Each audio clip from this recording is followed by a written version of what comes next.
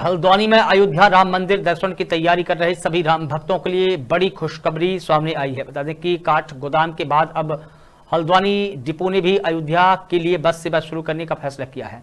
बताया जा रहा है कि उत्तराखंड परिवहन निगम का प्लान है कि अगले हफ़्ते तक हल्द्वानी से अयोध्या के लिए बस सेवा शुरू की जाए। वहीं हल्द्वानी डिपो के A R M Surendra Bisht का कहना है कि हल्द्वानी डिपो से अयोध्या के लिए बस शुरू करने की मांग हो रही है, जिसको देखते हुए उत्तराखंड परिवहन निगम ने हल्द्वानी से भी अयोध्या के लिए बस शुरू करने का फैसला किया है। अभी यात्रियों की सुविधा के अनुसार बस का समय और मार्ग सुनिश्चित किया जा रहा है, जिसके पक्का होते ही यह बस सेवा हल्द्वानी से अयोध्या के लिए रवाना की जाएगी। हल्द्वानी से दीपक अधिकारी की रिपोर्ट।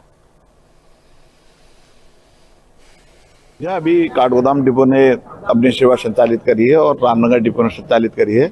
और अगर पब्लिक की भीड़ बढ़ती है तो शीघ्र ही हम हल्द्वानी डिपो से भी वाहन संचालित करेंगे अपने। सर कितना उत्साह अभी तक देखा गया कि अभी, अभी पैसेंजर काफ़ी आ रहा है उत्साह है लोगों में और डेली जो है पंद्रह बीस लोग जो है पूछने आते हैं और अगर ये भीड़ बढ़ती है तो एक दो दिन में हम अपनी सेवा भी शुरू करेंगे सर कोहरे की वजह से क्या कोहरे की वजह से गाड़ियाँ लेट हो रही हैं एक एक डेढ़ डेढ़ घंटा दिल्ली से गाड़ियाँ लेट आ रही हैं पंजाब वाली गाड़ी दो दो घंटे के लिए।